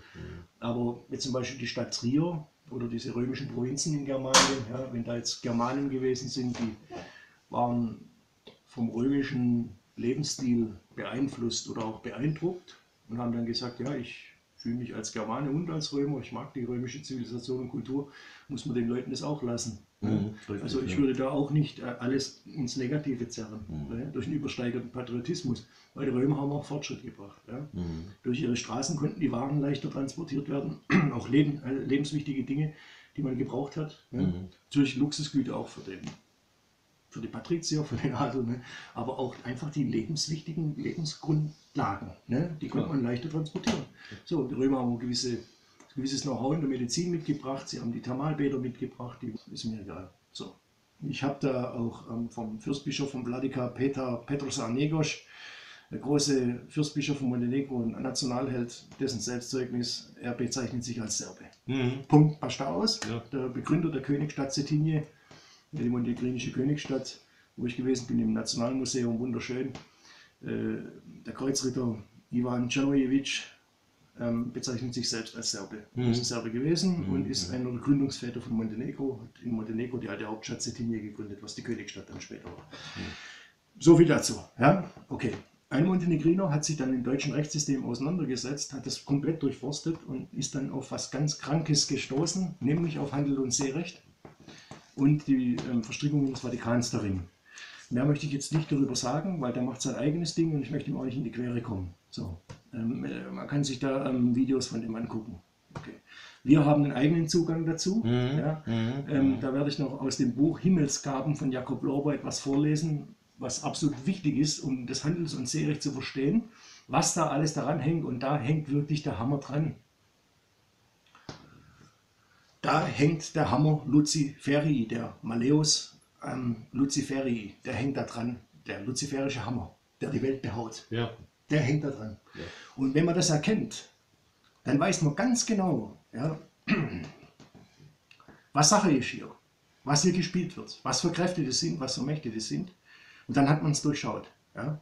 Und es hat jetzt nichts ähm, mit ähm, Juristerei zu tun und muss sich da nicht das gesamte Rechtssystem reinpfeifen oder so. Das ist überhaupt nicht äh, notwendig. Ja. Man muss nur ähm, verstehen, was der Herr Jesus vor über 150 Jahren dazu gesagt hat, was absolut top aktuell ist, wo ich erst dieses Jahr entdeckt habe. Ja. Und nochmal ein Dankeschön an meinen Bruder aus Österreich, Johann, vielen Dank, ähm, dass du mir dieses Buch geschickt hast. Das hat mir ganz stark die Augen geöffnet. Vielen Dank nochmal. Und ähm, okay, das ist ein ganz wichtiges Thema. Dazu müssen wir ein ganz gesondertes Video machen. Und ähm, das ist jetzt sehr, sehr, sehr wichtig, weil das wirft ein Schlaglicht auf die gesamte gesellschaftliche, politische, gesellschaftliche Situation. Ja. So. Um nochmal auf die Zustände BRD zurückzukommen. Wir wissen, der Niedriglohnsektor wurde geschaffen als quasi Puffer für den wegbrechenden Mittelstand. Ja. Das heißt, einen adäquaten Lohn zu bekommen, adäquat existieren zu können, ist nicht mehr möglich. Für weite, weiteste Bevölkerungsteile. Wir haben inzwischen hohe Kinderarmut in Deutschland. Wir haben inzwischen hohe Armut. Oder gar keine Kinder mehr. Richtig. Deswegen ist, äh, ähm, wir müssen da auch vorsichtig sein, ja, weil inzwischen wird man ja verfolgt. Wir haben eine neue Situation in Deutschland. Die haben äh, Gesetze durchgepeitscht. Meinungsfreiheit ist weiter eingeschränkt. Weite Bevölkerungsteile abzuschneiden von einem lohnenswerten Verdienst, der ein einigermaßen adäquates Leben in der Gesellschaft ermöglicht. Auch dass man an Kunst und Kultur teilnehmen kann, ist ja für viele gar nicht mehr möglich. Ja? Es gibt doch Bildungsgutscheine. Ach ja, naja, dann ist es natürlich mit Political Correctness ähm, belegt. Und ich muss sagen, ähm, wenn ich mir ein Theaterstück zum Beispiel anschauen möchte, was ja viele heute gar nicht mehr machen. Ich war ein paar Mal als Kind im Theater, im Kindertheater, da haben wir Pinocchio gesehen und ich glaube Alibaba und die 40 Räuber. Märchen aus Tausend und eine Nacht Das ist haben auch wir doch jetzt jeden Tag. Märchen aus Tausend und einer Nacht möchte ich mal ein bisschen in Schutz nehmen. Das sind wirklich schöne Märchen. Es gibt ja auch vergeistigte Menschen aus diesem Kulturraum. Ne? Rumi, oh, ja, ähm, der edle Jalaluddin Rumi, der ähm, Aslan von Konya, Löwe von Konya, der den Sufismus begründet hat. Nicht in der heutigen Form, wie es in der Türkei inzwischen praktiziert wird. Es hat auch inzwischen eine Nähe zum radikalen Islam über die Gülen-Bewegung. Da kann sich jeder sein eigenes Urteil darüber bilden. Ne? Das sind alles so Strukturen, die ähm, an Dominanz und Macht interessiert sind, auch in fremden Ländern, wo sie nichts verloren haben mit diesem Anspruch. Es ist einfach so. Ja? So, der Jalaluddin Rumi hat wenig über den Koran gepredigt oder gel- vorgelesen. Er hat auch wenig über Mohammed geredet, ja, komischerweise. Er hat immer, also von wie er Gott interpretiert hat, also er hat ihm den Namen Allah gegeben, ne, was auf Arabisch Gott heißt. Ja, ne. ja. Diesen Namen braucht man sich eigentlich gar nicht so arg stören. Es kommt davon, wie man diesen Allah interpretiert. Wir haben es ja auch schon verglichen mit unserem Odin. Ja, es gibt ja zwei. Ne? Es gibt ja diesen Weltgeist Odin, diesen Götzenkult. Das im Grunde ein, ein, Animismus und Götzenkult ist, ein Kriegskult, ähm, wo mit dem ursprünglichen Odin gar nichts zu tun hat. Ja. Haben wir ja schon erklärt, der ursprüngliche Odin ist ein monotheistischer Gott, ist der große Geist, der Allvater. Ja? Das ist der Jehova. Ja? Das nochmal in Erinnerung zu rufen. Und ist egal, ähm, welchen Namen er hat, weil er hat in verschiedenen Kulturen verschiedene Namen gehabt. Ja? Manitou. Manitou, der Great Wakontanka, da hat man ihn äh, in gewisser Hinsicht mit dem großen Büffel äh, verglichen, weil die Indianer haben das halt sehr, sagen wir mal, einfach gesehen. Ja, die haben dann halt gesagt, der Büffel ernährt uns und so und der große Allgeist, der ist wie ein großer Büffel, der uns ernährt und in seiner Kraft. Ne? Ist eigentlich auch eine schöne Deutung, wenn man es versteht. Ne? Man darf sich halt nicht jetzt an, an, an dem Tier stören, weil die haben ganz bestimmt nicht geglaubt, dass der Allvater oder der Allgeist äh, ein Tier ist. Ne? Ja. So. Dann die Chinesen Shangdi, muss man wirklich aufpassen, was man sagt in Deutschland. Ähm, wer Revisionismus betreibt, ähm, den betreiben wir auch. Wir betreiben auch Revisionismus. Ähm, da sind wir ganz bei euch, gell? Ähm, äh, weil wir ja auch ähm, unsere Vorfahren, alle unsere Vorfahren lieben und zu ihnen stehen. Also auch zu denen, die zwischen 1933 und 1945 an der Spitze gewesen sind. Okay, so viel dazu.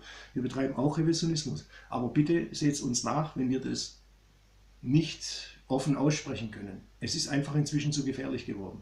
Da aber darüber aufgeklärt werden muss, wollen wir auch noch ein bisschen was dazu sagen. Mhm, richtig. Aber in einem späteren Video. So. Ähm, ja, also im Grunde ist es ein Wahnwitz, dass wir lauter Fremde reinholen und die versorgen, voll versorgen, ja, mit viel Geld. Äh, bei mir das Freibad ist Ende der 70er Jahre, Anfang der 80er Jahre gebaut worden. Ja. Äh, Entschuldigung, das Hallenbad. Ja. Das Hallenbad, bis auf, ein klar, bis auf ein paar kleinere Neuerungen, ist noch genau aus dieser Zeit. Ich meine, ich finde es super. Ja, wie gesagt, ich bin in den 80ern groß geworden, ich hatte eine schöne Kindheit. Für mich ist es geil, wenn ich ins Hallenbad komme. Ist immer noch so Wie, wie aus beim den ersten 80ern. Besuch. Ja, ja, Ja. ja. ja, super. Mhm. Aber, Es ist kein Geld da. ja, Die Türen sind marode, ja, die schließen teilweise nicht mehr richtig. Es ist kein Geld da. Ja. Viele Spielplätze sind runtergekommen. Immer mal wieder ähm, wird was erneuert. Ja.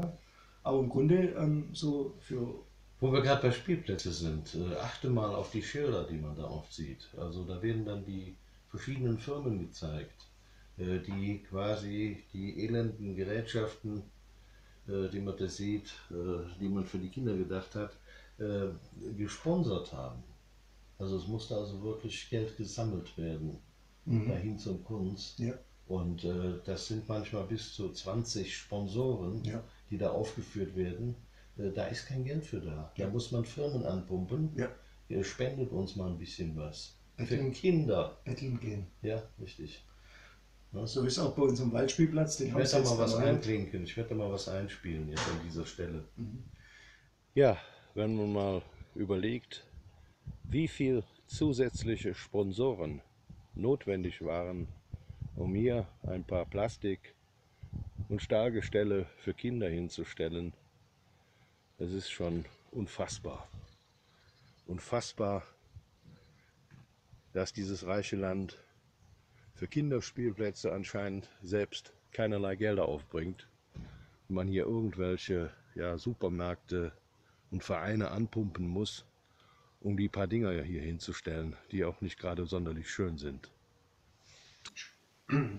unseren Hermann oder Armin, den Piruska betrifft, da bin ich ganz auf seiner Seite. Also der Varus hat sich daneben benommen, der hat geplündert und gebrandschatzt und äh, das war nicht richtig und er hat dann seine Quittung gekriegt. ne? Aber jetzt zum Beispiel die Stadt Trier oder diese römischen Provinzen in Germanien, ja, wenn da jetzt Germanen gewesen sind, die waren vom römischen Lebensstil beeinflusst oder auch beeindruckt und haben dann gesagt, ja, ich fühle mich als Germane und als Römer, ich mag die römische Zivilisation und Kultur, muss man den Leuten das auch lassen. Mhm, richtig, also ich würde da auch nicht äh, alles ins Negative zerren, ne, durch einen übersteigerten Patriotismus, weil die Römer haben auch Fortschritt gebracht. Ja. Durch ihre Straßen konnten die Waren leichter transportiert werden, auch Leben, äh, lebenswichtige Dinge, die man gebraucht hat. Ne. Natürlich Luxusgüter auch den für die Patrizier, für den Adel, ne? aber auch einfach die lebenswichtigen Lebensgrundlagen, ne? die konnte man leichter transportieren.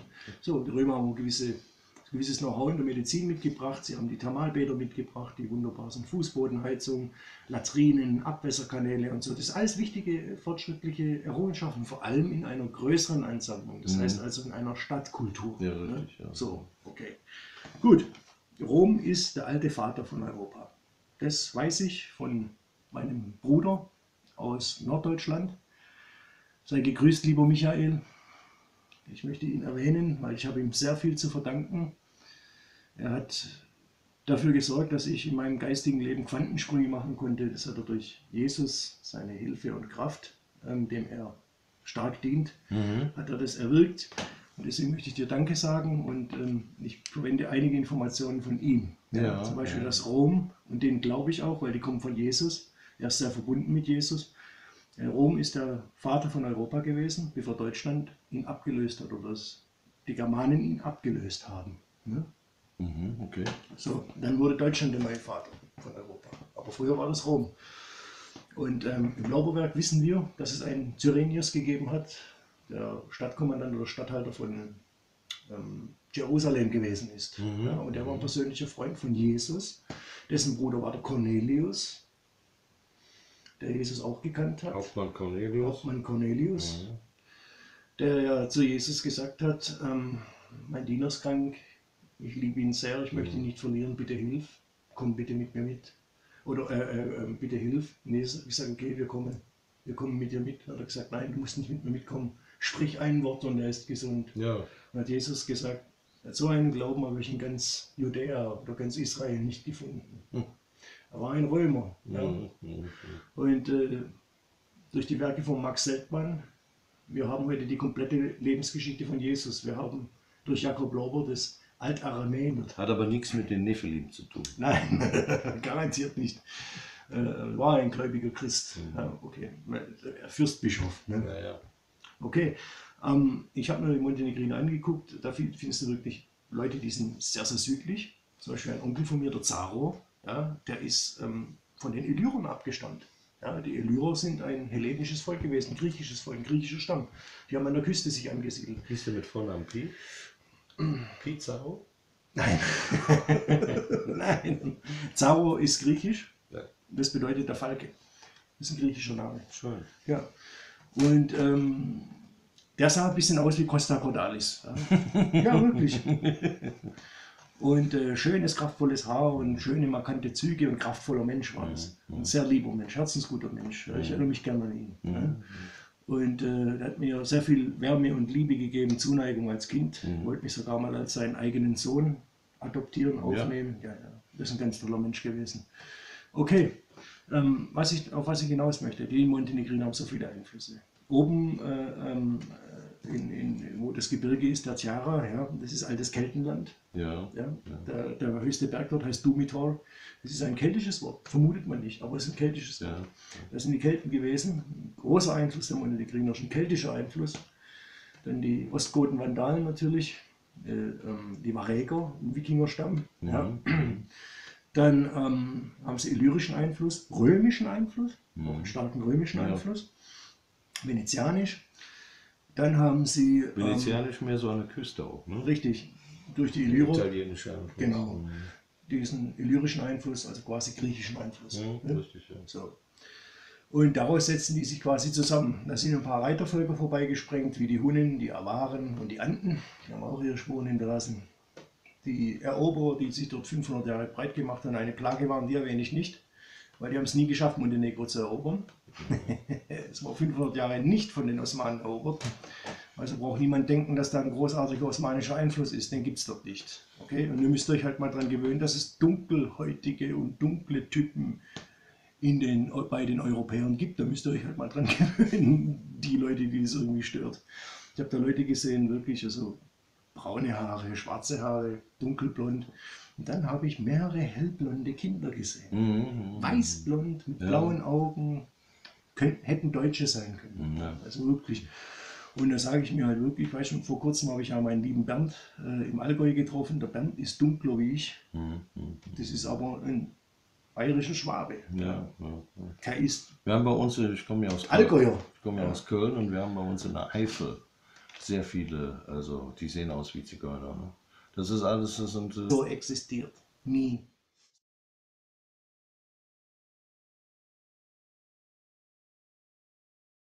Nie. Es war ebenfalls eine Hochzivilisation und eine Hochkultur. Ja. Sonst wären sie gar nicht in der Lage gewesen, diesen enormen Tempel zu bauen, ja, dessen Bauschlüssel die Go- Goetia, die Kreuzritter mit nach Europa gebracht haben und dann sind die großen Kathedralen gebaut worden. Ja. So, das heißt also, die Is alten Israeliten waren schon große Baumeister. Ja. Der äh, Salomo hat in Jerusalem Abwasserkanäle eingeführt, ja, ohne dass er jetzt Hilfe von Rom gehabt hat. Das hat er selbst entwickelt in seiner Weisheit, ja, die er von Gott erhalten hat, von Jehova. So, euren Wüstengott könnt ihr vergessen. Den gibt's nicht. Den gab's nie. Ja? Ihr seid da irgendwelchen Fabeln aufgesessen. Ja? Aber für euch mache ich diese Videos nicht. Okay? Ihr könnt es anschauen, ihr könnt da rein interpretieren, was ihr wollt. Das ist mir vollkommen egal. Ihr seid komplett widerlegt. Ihr seid zerbröselt. Euer Lügengebilde, euer Lügengespinst das fällt bald richtig in euch zu, äh, richtig zusammen. Und daran arbeiten wir. Wir lassen euch keine Chance mehr, Lügen und Blasphemien über Gott zu erzählen. Ja? Weil ihr seid Luziferier, ihr seid Gnostiker. Ihr braucht euch über die Freimaurer nicht beschweren. Ja? Das sind nämlich die Obergnostiker und Luziferier und ihr seid die kleinen Luziferier. Warum? Weil ihr euch anmaßt, Gott den Allmächtigen mit eurem kleinen Spatzenhirn verstehen und erklären zu wollen. Ja? So, und das machen die Freimaurer genauso. Und die sind in einer mächtigen Position. Ihr seid halt in einer ohnmächtigen Position. das ärgert euch. Im Grunde wollt ihr nur in deren Position kommen. Ja? Ihr wollt hier irgendetwas machen, äh, Deutschland drehen und so und euch dann in die obere Spitze katapultieren und dass ihr wieder ein besseres Leben habt. Aber ich sage euch eins, eure ganzen hochfliegenden, hochtrabenden Pläne, die werden scheitern. Ja? Esoterik, Kulte und ihr seid selbst in einem Kult. Ja, ihr seid in einem neo-neuheidnischen, esoterischen Kult drin. Und alle Kulte sind Sekten. Ihr seid in einer Sekte. Ja? Ihr seid in Sekten. So. Und ihr werdet zertreten werden von der Wahrheit. Ob es euch passt oder nicht, vollkommen egal. Vollkommen egal. Okay? Das, das mal dazu. Israel war eine Hochkultur und das alte Israel ist anders vorzustellen. Auch die Israeliten die sind jetzt nicht hier wie in den Filmen nur dargestellt, südländisch dunkel alle. Ja? Ja, es waren Weiße. In allen Schattierungen, in allen Formen und Farben. Ja? Hellhäutige, dunkelhäutige, je nachdem. Ja? Rothaarige, dunkelblonde, hellblonde, rotblonde, schwarzhaarige, Glatthaar. Das sind nämlich die Obergnostiker und Luziferier und ihr seid die kleinen Luziferier. Warum? Weil ihr euch anmaßt, Gott den Allmächtigen mit eurem kleinen Spatzenhirn verstehen und erklären zu wollen. Ja? So, und das machen die Freimaurer genauso und die sind in einer mächtigen Position. Ihr seid halt in einer ohnmächtigen Position. Das ärgert euch. Im Grunde wollt ihr nur in deren Position kommen. Ja? Ihr wollt hier irgendetwas machen, äh, Deutschland drehen und so und euch dann in die obere Spitze katapultieren und dass ihr wieder ein besseres Leben habt. Aber ich sage euch eins, eure ganzen hochfliegenden, hochtrabenden Pläne, die werden scheitern. Ja? Esoterik, Kulte und ihr seid selbst in einem Kult. Ja? Ihr seid in einem neo-neuheidnischen, esoterischen Kult drin. Und alle Kulte sind Sekten. Ihr seid in einer Sekte. Ja? Ihr seid in Sekten. So. Und ihr werdet zertreten werden von der Wahrheit. Ob es euch passt oder nicht, vollkommen egal. Vollkommen egal. Okay? Das, das mal dazu. Israel war eine Hochkultur und das alte Israel ist anders vorzustellen. Auch die Israeliten die sind jetzt nicht hier wie in den Filmen nur dargestellt, südländisch dunkel alle. Ja? Ja, es waren Weiße. In allen Schattierungen, in allen Formen und Farben. Ja? Hellhäutige, dunkelhäutige, je nachdem. Ja, rothaarige, dunkelblonde, hellblonde, rotblonde, schwarzhaarige, glatthaarige, kraushaarige, langhaarige, kurzhaarige. Hm? Ich glaube, ein paar haben auch einen Scheitel gehabt. Richtig, mit Scheitel, braunhaarige. Hm? In allen Schattierungen, braunäugige, so wie ich. Brau, ich habe braune Augen. Oh. Wie kann ich nur braune Augen haben? Hm? Schwarzäugige, oh, ganz schlimm. Hui. Blauäugige, grünäugige, grauäugige, alles war da. Und warum? Das erklären wir auch, aber in einem anderen Video. So, wir wollen mit diesen ganzen Lügen und ganzen Märchen aufhören, ja? so dass nämlich rauskommt, dass wir Christen Gottes Volk sind. Wir sind es geistig, und sogar von Blutswegen. Mhm. Wir sind Gottes Volk. Und wir werden diese Sekte, die sich da in Jerusalem, ins heutige Jerusalem eingeschlichen hat, ins heutige Israel, diese Sekte, die ja eigentlich aus dem Kaukasus kommt zum großen Teil, ja, dann haben sie ein bisschen reingeschmeckt ja, aus ganz Europa. Ne? Diese Sekte werden wir auch enttarnen und zeigen, dass die nicht stimmt. Und dass die lügen. Und wir werden zeigen, diese Zionisten, Hebrew Roots Christen, die mit denen zusammenarbeiten, auch die Filme, die die produzieren, sind scheiße. Warum? Man sieht immer Jerusalem, Israel, Wüstenland und so. Es ist